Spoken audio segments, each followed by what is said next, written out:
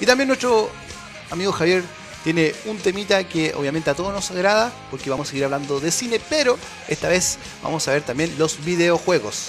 Javi. Mira, y eh, vamos a ver un poco el tema de lo que fue la transformación de, al, al cine, lo que la adaptación de los videojuegos, algunos clásicos que son más o menos del 93, 94 las películas Ya. y las dos últimas que vamos a revisar que las vamos a poner un poquito más de detalle. Perfecto. Partamos con Super Mario. ¿Qué vamos a organizar? ¿El juego? ¿La película? Echémosle una miradita a unas imágenes del juego, Ya. puede ser para ir más o menos clásico Super conociendo Mario, del, el clásico. del Nintendo. Ahí podemos ver el, el típico Super Mario que tenéis que salvar a la princesa, tienes tres vidas para, para lograr tu objetivo. Oye, recordemos quién era Mario. Este este es un fontanero directamente, ¿cierto? Mira. Era una especie de fontanero que fue eh, que cae en este mundo, obviamente, eh, por casualidad. Y obviamente ahí llega y le piden por favor salvar a esta princesa que, como lo dijimos anteriormente, se llamaba en este juego Toad's Doll, una cosa así. Pero con el tiempo Y le cambiaron el le cambiaron el nombre. y hoy día se llama Princesa Peach. Así de simple. No la arreglaron, la empeoraron. Sí, yo creo que la embarraron, la verdad. Ah, Así que eh, este, este es un juego clásico, la verdad, ¿quién no ha jugado este juego de... A, to- de- a todos les gusta, Sí, o sea, desde grande hasta chico, y tú ves que tiene una, una gramática, por decirlo así, que eh, se mantiene una línea, o sea, tienes que salvar a la princesa, tienes que recorrer el camino, es fácil, pero la adaptación, que lo que fue a la película, fue un verdadero desorden de eh, gramatical, o sea, no, no tenía ni pies ni cabeza. Pero Pasaron aquí en la película intentaron un poco, eh, quizá, eh, eh, tomar esta historia, volverla un poco más Mm, supuestamente más humana, real. más real, Más o sea, real. un poco más creíble. Pues, eh, las imágenes, porque tengo el trailer ahí, que ¿Ya? lo, lo- lo puede tirar el director mientras conversamos arriba. Vamos al trailer. eh, no, se, no se logra el objetivo. O sea, parte con una.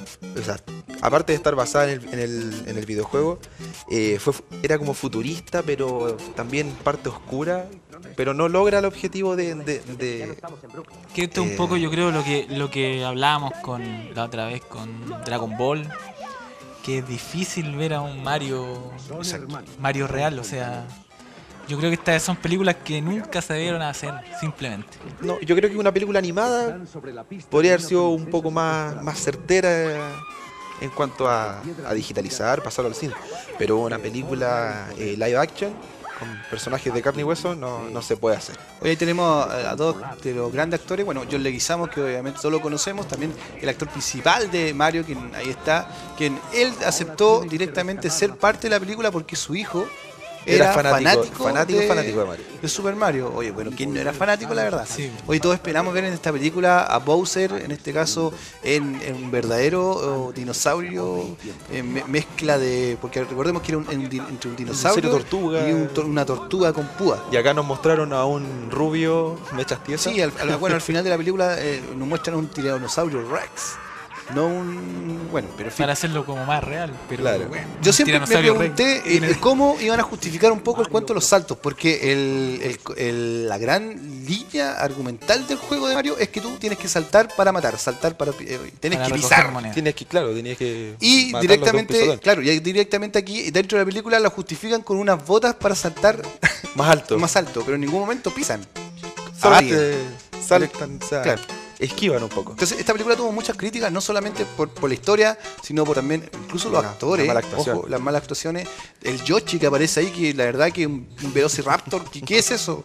No, la verdad que no se entiende. Bueno, la película fue un fiasco y está integrada dentro de las peores, Las peores películas. películas de videojuegos de la historia del cine. Siguiendo por esa línea, nos Vamos. vamos al año 94, un año después de esta película, a la película de Street Fighter.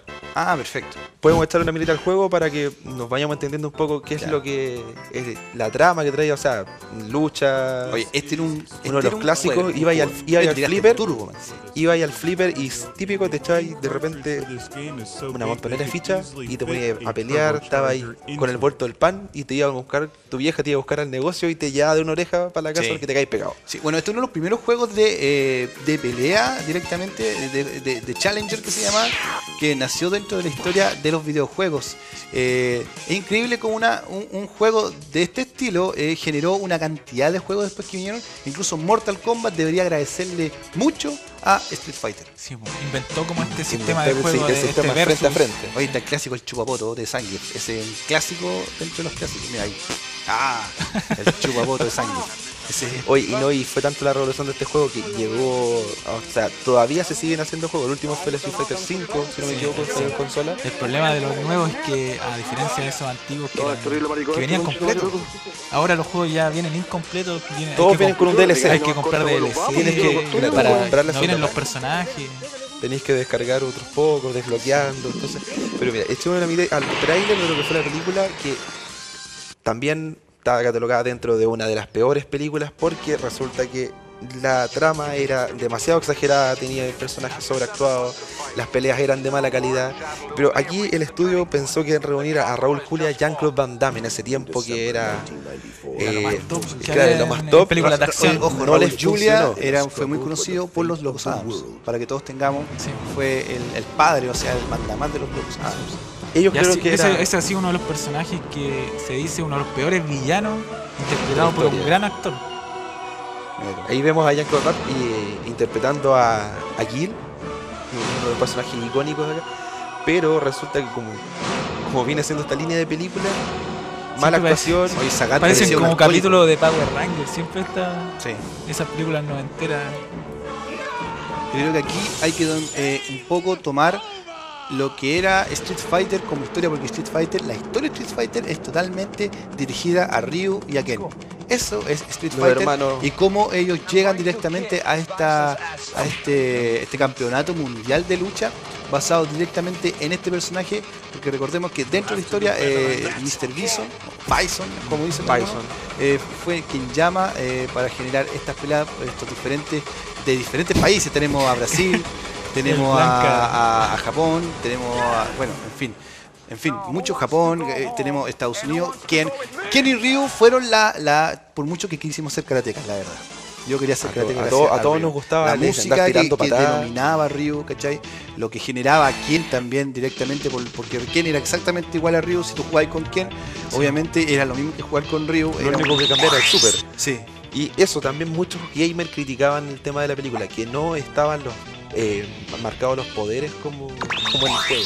O sea, igual es un poco Oye, el entendible. Ken, o sea, el Ken de la película, la verdad que era una vergüenza, era un fofo, la verdad no tenía el pelo largo, viejo, nada.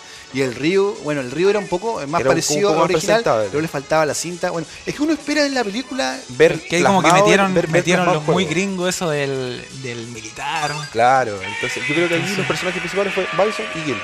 Yo creo que en eso se enfocaron como para hacer la película. Igual si Cuando- uno quiere ver una película buena de Street Fighter, eh, Street Fighter 2 es un anime. ¿ya? La película es súper buena. Incluso salió la serie, la Sí, serie sí, que donde Ryu hacía este movimiento que duraba seis capítulos para hacer el lado Ken. Fue la Pero lo, valía la pena. Sí, valía la pena. Valía la pena la espera. Sí. No, y ojo, que también eh, hace poco salió Street Fighter, que por aquí la tenemos, allá está, Street. Fighter Assassin First, que se llama. Que El primer eh, asesino. Claro, que es la historia directamente de Ryu y Ken y cómo su gran maestro les enseñó todo este, eh, las técnicas de lado y bueno, y toda la historia con Goki, ah, con Akuma también, que hay un- unos juegos de nombre también. Así que no solamente eh, eh, Street Fighter es una, una franquicia de un juego que nació por allá por los años 80, sino que mucho más que eso, la historia de Street Fighter, esta mezcla también que después hicieron con, con, con, con otros juegos, con X-Men, donde aparecía Ryu sí, con sí, Ken. Versus Capcom, Exacto. versus SNK.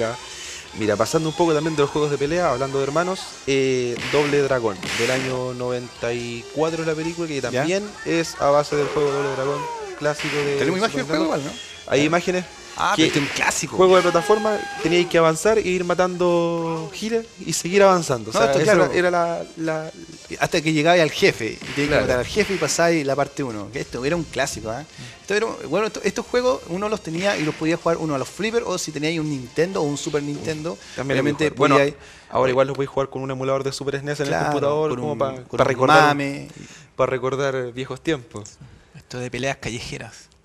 Oye, era clásico. Y, y la gran diferencia para diferenciar uno del otro eran los colores, como las tortugas ninja, uno rojo y Era otro como, azul. era como la básica, yo creo que en ese tiempo, ¿de cuántos? ¿16 bits? ¿no? Sí. 16 bits No creo que no, no les permitía mucho más. Oye, la violencia contra la mujer ahí presente siempre. Nos van a empezar a llamar. Sí, nos van a empezar. No. Pero la verdad mujer que es mira, fuerte. mira. Oye, acá, eh, acá este juego, yo si no, yo no recuerdo cuando hicieron la película, porque recuerdo que no solamente fue un, un- un juego que se quedó con Doble Dragón, apareció Doble Dragón 2, incluso apareció un juego de Doble Dragón donde tú peleabas a los Street Fighter también, bien Sí, recuerdo. sí, apareció un juego que y, y, y no solamente se quedó ahí. Bueno, la, lo único malo de este juego lo que odiaba es que tú te caías ahí a los hoyos, viejo. Ahí uno- no saltaba bien y pum, pasáis de Claro, largo. pasáis de largo. No era como, no sé, Final Fight con Agar, con Cody, no era con un no, no- no tenía un mucho control, la verdad. O sea, tenía que Después mejoró en, en Final Fight. Sí. Y pa- bueno, pasando la película, lo mismo. O sea, eh, actores sobrevalorados, mala actuación, peleas de mala calidad, que se notaba demasiado el poco realismo en la, en la película. O sea, Ya, perfecto. Esto Malísimo. Es, esto es Doble Dragón, esto la es Doble película. Dragón la película. Ah, perfecto. Bueno, aquí, bueno, seguro eh, todos esperamos del. Y quizás nos equivocamos, que pensamos que Doble Dragón, los dos hermanos, eran. eh, no sabíamos si eran japoneses o eran gringos.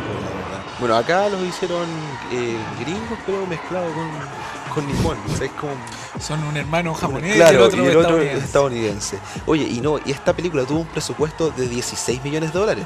O sea, no es poco presupuesto 16 para millones. la Para- mala calidad de película que Para salió. la época igual para la época. O sea, estamos hablando de. ¿Cuánto en, acá sería unos 20 palos más o menos? 16 No. millones. O sea, perdón, Siete- ve- eh, 20. 7 mil millones. 7 mil. Perdón. Yo me equivoqué. no, muchas lucas, viejo, acá con Muchas 16 lucas. millones, viejo. La verdad que yo haría una película triple X. Pero en fin.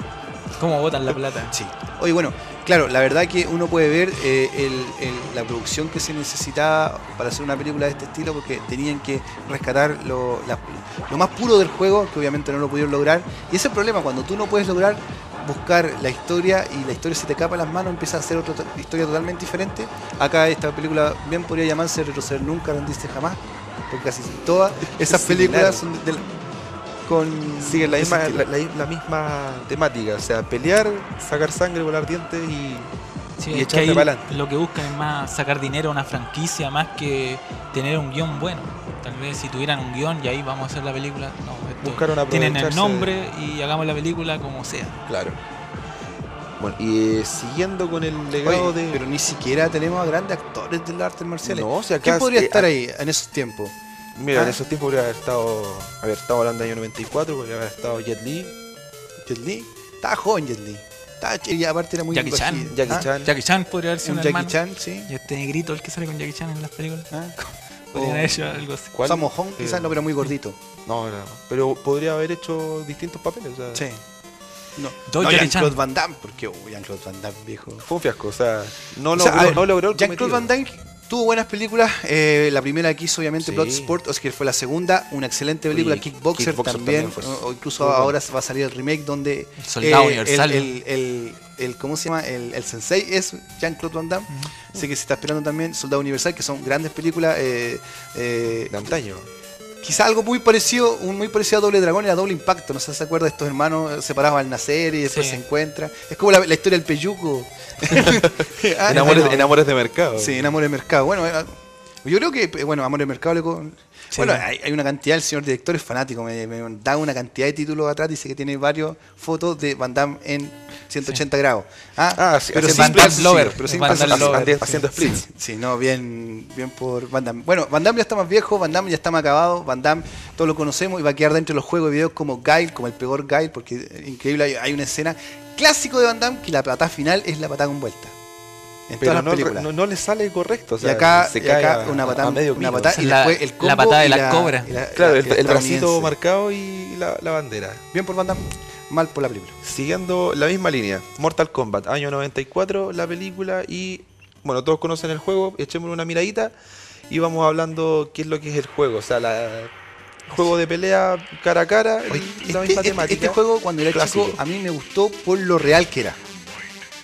Porque el, el juego de por sí Sí, está este bueno. tenía sangre. No, no, y no solamente que lo, que lo, por ejemplo, Liu Kang, Scorpion, Sub-Zero, Sonja, todos eran reales, eran personas. Eran personajes que los, gra- los fueron filmando en pantalla verde y después los fueron digitalizando los movimientos. o sea, Exacto, y era espectacular, o por sea, eso era los movimientos eran tan mecánicos, o sea, era una patada era como súper recta. O sea, Aquí tenemos quizá un poco lo de Sub-Zero y como los Ryu y Ken, quizá.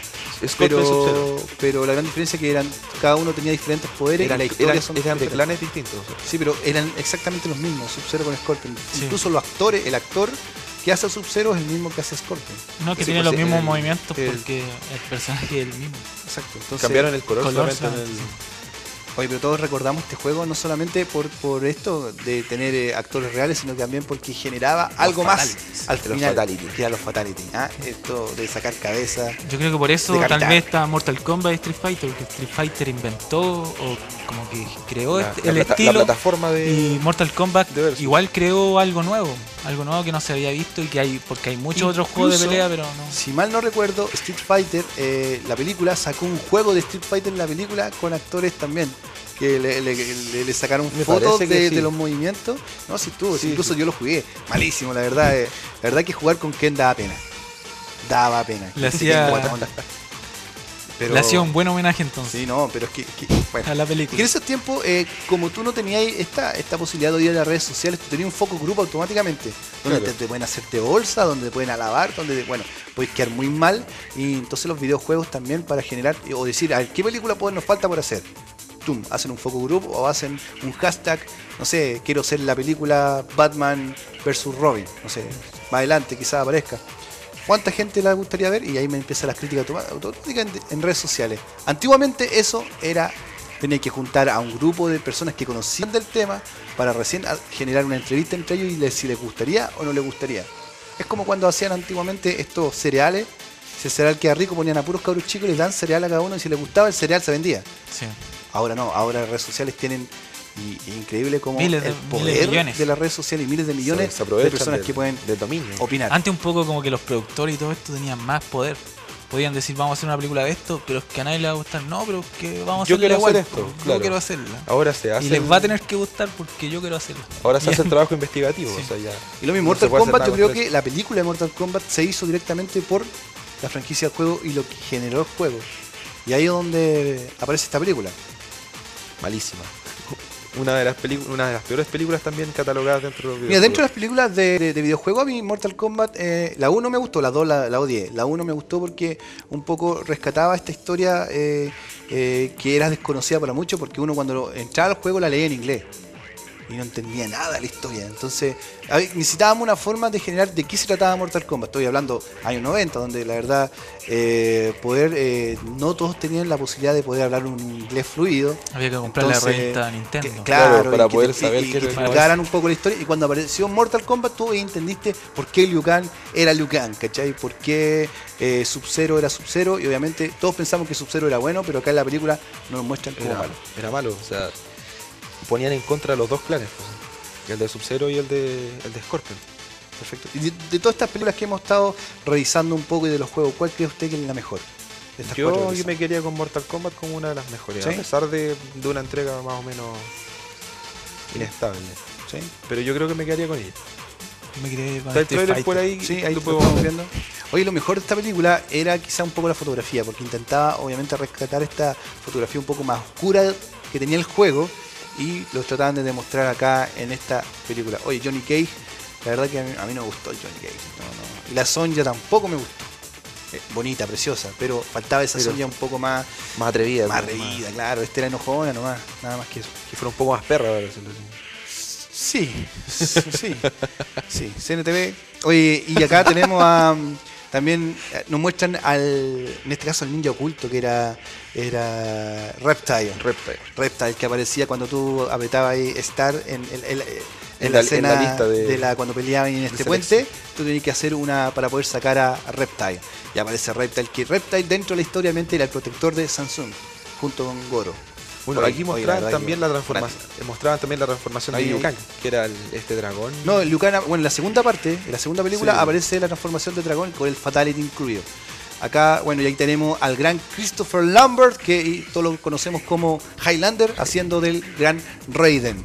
¿ah? Este, este protector de la Tierra, que obviamente dentro de este, de este torneo que se generaba entre los dos mundos, para que obviamente Shao Kahn pudiera entrar y, y invadir la Tierra porque de esa forma se mantenían las diferencias entre estos dos mundos. Tienen que haber un torneo mortal y obviamente quien gane, eh, en este caso la Tierra se, se protegía con sus luchadores y Shao Kahn mandaba a los mejores suyos y obviamente... para obtener aquí- el poder.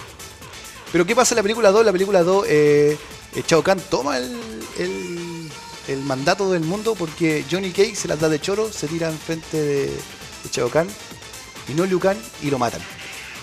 Y ahí entra Shao Kahn con todo el mundo. Y ahí aparece una película donde intentaron esta cantidad de personajes, recordemos Cyrax, Sindel, Nob Saibot, eh, Goro, ¿Cómo se llama? De también los- sale el de los Motaro, brazos- el de los brazos mecánicos. ¿cómo eh, se llama? Jax. Jax. Aparece Jax también en la segunda película. La verdad que quisieron meter a toda esta cantidad de personajes y es muy difícil generar una historia con toda esta cantidad de personajes. Que Pero lo hicieron y la película mucho. fue un fiasco. Pero bueno, Era, era mucho personaje, o sea, querían conseguir más pelea, yo creo que, que trama. perfecto. No ¿Qué película de videojuegos se nos viene para este 2017? ¿Hay alguna por ahí? Mira, para el 2007 viene Resident Evil, pero antes vamos a hablar de lo que, una que pasó hace poquitos días.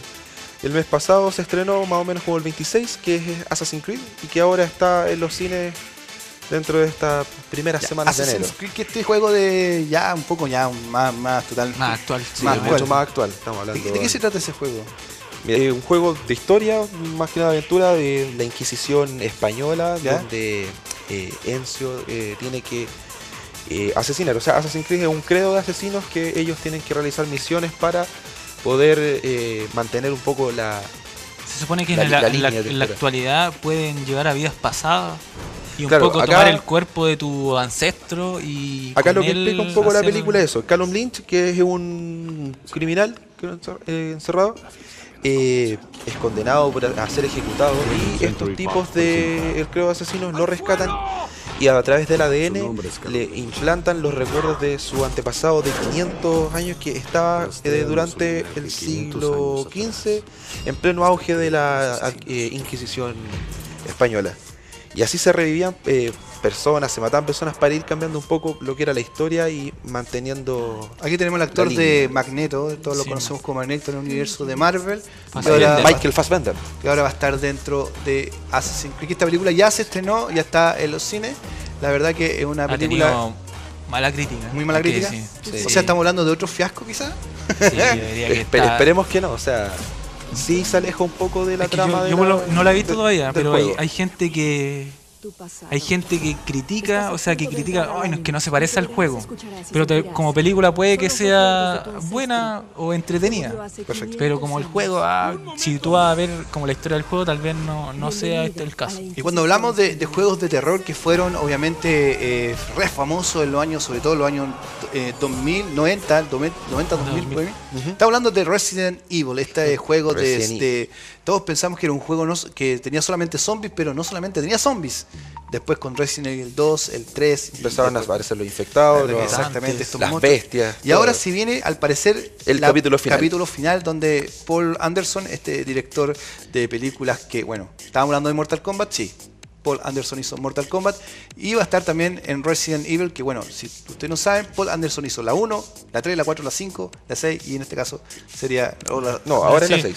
Sí, y la 2 la hizo un director chileno que se arraigó en Estados Unidos, ¿ah? cuando hizo eh, Resident Ahí tenemos Evil, la- ahí tenemos la de Apocalipsis, la número, exactamente. ¿Qué se viene con el capítulo final? Obviamente el Mira, capítulo o sea, final. El capítulo final, mira, veamos el trailer y después Sí. lo analizamos Ya, vamos a ver este tráiler entonces de Resident Evil. con más detalle.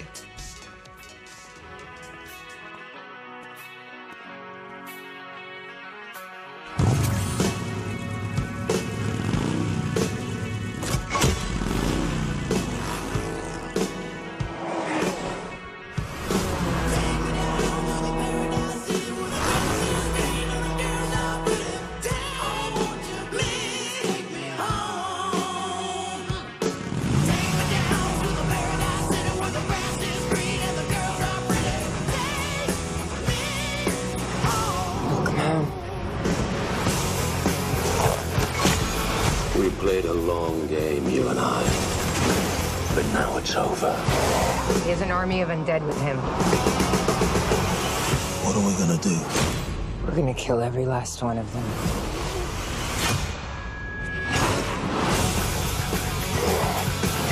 I should have killed you in Washington.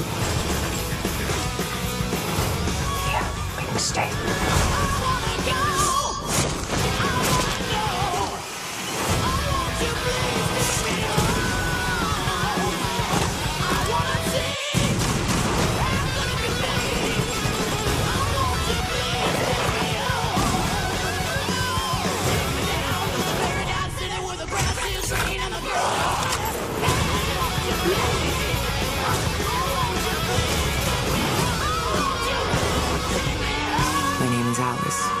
This is my story. The end of my story.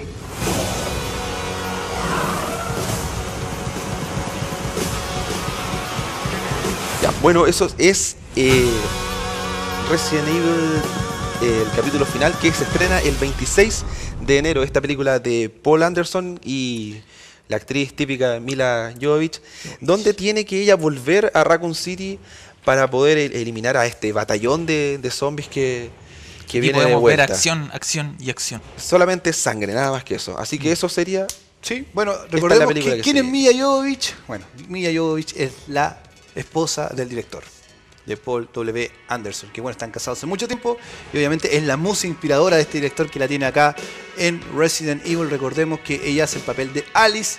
Alice es un personaje que no aparece ni en Resident Evil 1 de los juegos, ni en el No, de los 2, juegos, no. ni siquiera en el 3, aparece mucho después porque la integran dentro de la película como un una especie de personaje totalmente alterno, con un universo paralelo, quizás dentro del universo de Resident Sí. Evil. Recordemos que quien iba a hacer la película, la primera película de Resident Evil era George Romero. Fue llamado este director, el padre de los zombies actuales, lo que generó obviamente el, el éxito de, de The Walking Dead. Fue llamado directamente para ser parte de esta película. Obviamente él hizo un- una especie de tráiler del juego del- de, de Resident Evil 3 y la verdad que los productores dijeron que este hombre se basó mucho más en el maquillaje de los zombies que la historia propiamente tal y lo dejaron de lado. De lado. Así que ahí aparece Paul W. Anderson, que como lo dijimos anteriormente era el director de Mortal Kombat y bueno, él se quedó con toda la franquicia hasta el día de hoy. ¿Ha sido un éxito quizás? Sí. Buenas las películas, no tanto, la verdad. Eh, siempre esperaba un poco más de Resident Evil. Yo esperaba más sangre, porque el juego, la verdad, Sí, es sangriento, a más no poder. Pero acá la- directamente siempre lo hacen para todo espectador y emiten un poco el concepto de la sangre. Muy bien, ya hemos hablado mucho de, de- de cine, hemos hablado mucho de noticias, cómics, pero queremos decirles que tenemos esta linda polera de regalo para ti. ¿Cómo te la puedes ganar? Muy simple, tienes que llamarnos al 73 256 1630 y responder la siguiente pregunta. Así es fácil. ¿Cómo se llama el segundo actor que dio vida a este personaje? A Batman. Recordemos que el primero fue eh, Bas- eh, Michael Keaton. Sí. Sí, Michael Keaton. Michael se me estaba olvidando un poco el nombre. Y el segundo fue otro gran actor también que eh, hace poco, ya bueno, ya está dentro de los eh, de los tercios, de los viejos tercios de, de- Hollywood. Y también, también hizo de Batman y él estuvo en una de las peores películas de la historia del cine que se llama Batman y Robin, que hasta el día de hoy junto con Schwarzenegger y Uma Thurman también estuvo dentro de, de- de esa eh, película. Así que chicos, si ustedes saben quién es el segundo actor que dio vida a Batman en el séptimo arte, fácil, pueden llamarnos al 73 256 30, 56 16 30 digo, y pueden ganarse esta linda polera gracias a los amigos de la Mansa Estampa. La Mansa Estampa que están un día con nosotros, están siendo parte de este programa y si ustedes quieren estampar cualquier cosa que ustedes deseen, ¿ah? estampados totalmente personalizados, no solamente estampan poleras, sino que además polerones, tazones, jockeys, chapitas, llaveros, stickers, tarjetas de visita, delantales, mousepad, bolsas TNT, mochilas TNT, Lambert, magnéticos, etcétera, etcétera. Y no solamente se dedican a eso, sino también tienen todo un concepto de diseño integral, además de páginas web y otros logos. Si tú sabes, si tú sabes quién es el segundo actor ah, que protagonizó a Batman ah, y a Robin, obviamente estamos hablando de un actor muy conocido que trabajó junto con Tarantino en unas grandes películas que se llaman Del Crepúsculo al Amanecer. Mira, estoy dando un gran dato ahí. Pueden llamarnos al El hombre más 73 sexy del 256 mundo. Hay otra- 16 otra película 30, con numeritos y se pueden ganar esta preciosa, preciosa polera de el gran caballero de la noche, obviamente Batman. Así que ya lo saben, pueden llamarnos 73 256 1630 y van a ser acreedores de esta polerita que está, la verdad, está el descueve. Nos llaman, nos llaman y al final del programa vamos a dar el nombre del ganador para que estén atentos, chicos, todos los que ya han llamado. Y si nos están llamando por las redes sociales, obviamente también pueden escribirnos a nuestro Facebook, simple www.facebook.com slash el sótano y ahí van a encontrar obviamente la posibilidad de comentar y poder ganarse esta linda y única polera gracias al amigo de la Mansa Estampa. Nos vamos a una pequeña pausa comercial, volvemos inmediatamente con más aquí en el sótano en Canal 30.